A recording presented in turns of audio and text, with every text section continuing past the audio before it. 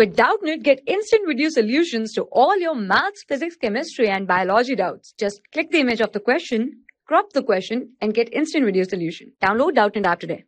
In the given question, by what number should minus 3 divided by 4 be multiplied in order to produce 2 divided by 3? So here we consider let the required number be x. So here let the let the required number that one is equals to x. So here according to the question it is given that by what number should minus 3 divided by 4 be multiplied and here we have considered that number to be x. So here we get minus 3 divided by 4 should be multiplied to x so that we get this 2 by 3. So here that will be equals to 2 divided by 3.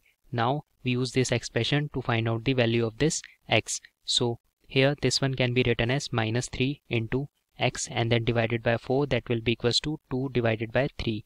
Now we simply cross multiply it. So here here we get minus 3 into x and then into here it is 3 and that will be equals to 4 into 2. So we get the value of x is equals to 4 into 2 and then divided by here it will be minus 3 and then into 3. So here here nothing cancel out so we just simply multiply the numbers in the numerator and we also multiply the numbers in the denominator. So here we get a x is equals to 4 into 2 is equals to 8 divided by minus 3 into 3 will be equals to minus 9. So here this one can also be written as minus 8 divided by 9 and that's our answer.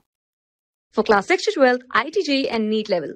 Trusted by more than 5 crore students. Download Doubtnut app today.